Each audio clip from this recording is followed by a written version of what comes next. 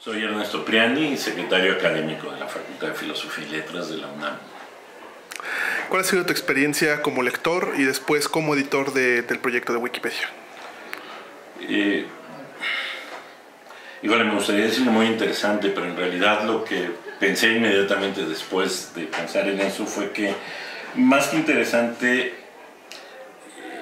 ha sido una relación ha sido una relación curiosa porque eh, finalmente yo sí confieso que utilizo mucho la Wikipedia y que normalmente cualquier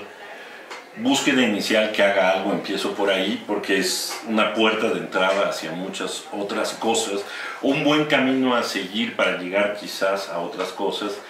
pero al mismo tiempo hay una relación de inconformidad con la Wikipedia. Uno nunca está satisfecho con lo que aparece ahí, con el contenido que hay.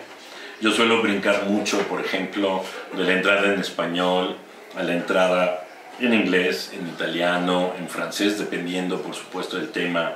que esté buscando y esté trabajando, porque bueno, en ocasiones justo las áreas que yo investigo,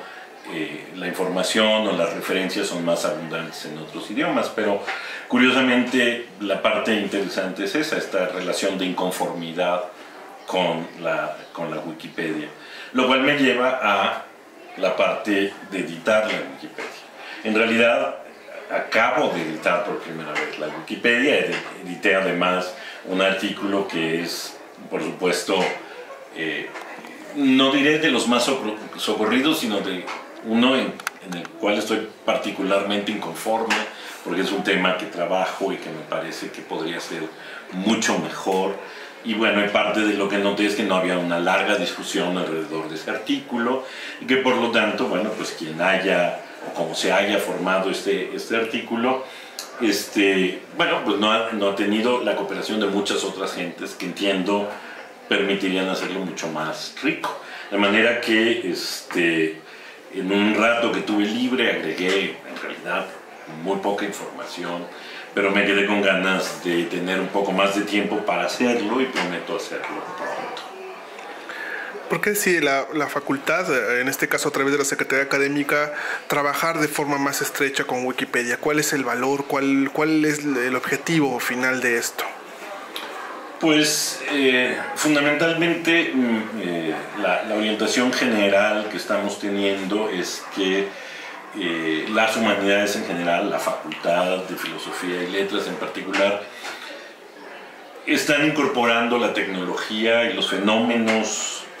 que la tecnología, sobre todo los fenómenos humanísticos que la tecnología está produciendo, como es el caso de la Wikipedia, es decir, Wikipedia parece ser todo un acontecimiento eh, no solo en el mundo, digamos, de las enciclopedias y de la difusión del conocimiento, etcétera, sino en realidad la construcción del conocimiento humanístico. Finalmente, la enciclopedia es un producto de las humanidades, es un fuerte producto de las humanidades. Eh, la orientación general pues es estarnos tratando de aproximar a todo esto que será finalmente los instrumentos que en un futuro las humanidades utilizarán para llegar a todos, para obtener mejores resultados de investigación, para conocer más cosas. Y en ese sentido el acercamiento con Wikipedia forma parte como de una exploración que la facultad está haciendo en cuanto a cuáles pueden ser las herramientas, los instrumentos e incluso las iniciativas con las que conviene eh, empezar a establecer un diálogo, un diálogo que puede ser eso, un intercambio o puede ser un aprovechamiento, un uso.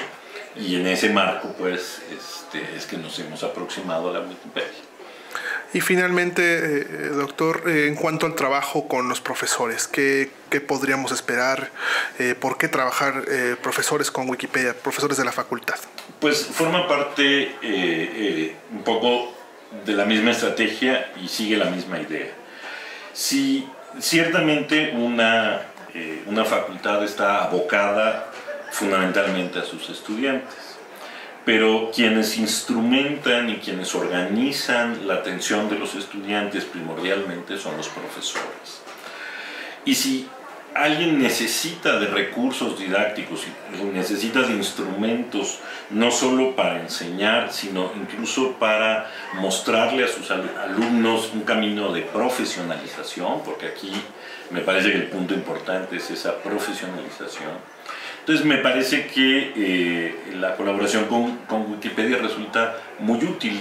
por varias razones, es decir, no solo es una iniciación a la tecnología por parte de los estudiantes, es la participación en un proyecto colaborativo global, eh, mundial, pero es al mismo tiempo un entrenamiento para saber escribir, editar, ser revisado, ser evaluado, aprender a discutir con herramientas tecnológicas. Ahora, eso cómo lo hacemos llegar a los estudiantes, es decir, cómo les mostramos a los estudiantes que esto es posible, justamente enseñando, invitando a los profesores a que sean precisamente ellos quienes puedan eh, enseñar, invitar hacer uso de la Wikipedia. De paso rompemos un poco con esta, a mi juicio, este prejuicio de que la Wikipedia no tiene que formar parte del ámbito eh, académico, eh, o que es este, un instrumento que, que, aporta información distorsionada, en fin, muchas cosas que se suelen decir para, para entender que en realidad las enciclopedias están con nosotros desde hace mucho, las enciclopedias son puertas de entrada, son, eh, son eso, puertas que se abren, caminos que se pueden recorrer y que entonces los profesores lo han usado siempre para iniciar a sus estudiantes, para trabajar con ellos, con el extra además ahora que es una preparación con herramientas que no solo se usan en Wikipedia, sino que se usan en, toda la esfera académica, profesional, etc.